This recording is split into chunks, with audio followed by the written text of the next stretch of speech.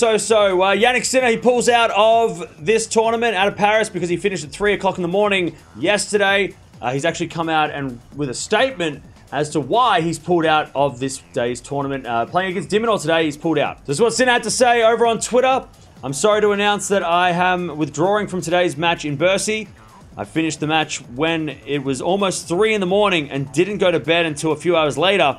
I had less than 12 hours to rest and prepare for the next game. He went on to say, I have to make the right decision for my health and my body. The weeks ahead with the AWB finals at home and the Davis Cup uh, will be very important. Now I focus on preparing for these important events. See you in Turin. And uh, some of the players uh, and also some coaches around the world have come out in uh, criticism of the scheduling, which has been really harsh in Paris. Uh, first, Stan Wawrinka, he came out and said, It's crazy, tournament doesn't care, and ATP just follow what the tournament will want. Always the same story. Uh, Casper Ruud came out and said, Bravo ATP, a way to help one of the best players in the world recover and be as ready as possible when he finished his match at 2.37 a.m. this morning. 14 and a half hours to recover. What a joke. And Brad Gilbert says, crazy why at 10 p.m. they had Plenty of time to switch Sin City to court one was open when there was a match still on center court and another one to follow before Jannik Sinner versus McDonald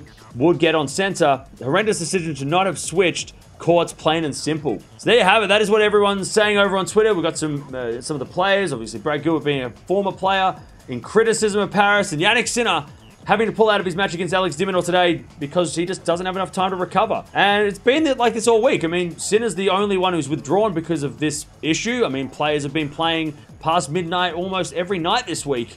Uh, Zverev himself, who uh, who we're currently watching, he was uh, someone who had to play until like you know 10 o'clock.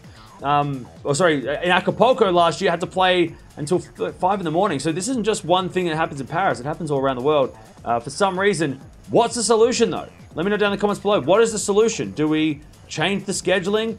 Do they build more courts in Paris so that we don't get this happening again? But Jannik Sinner pulling out due to fatigue. We won't see him until the AWB finals.